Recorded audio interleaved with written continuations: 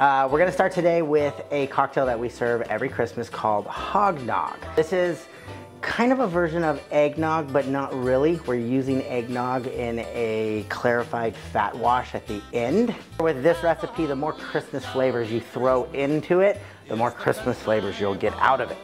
Right in here. Uh-oh. You can edit that, right? Good.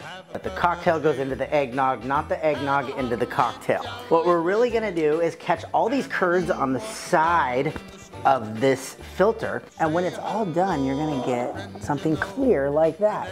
And you can measure it, or it's Christmas. Who cares? And there we go.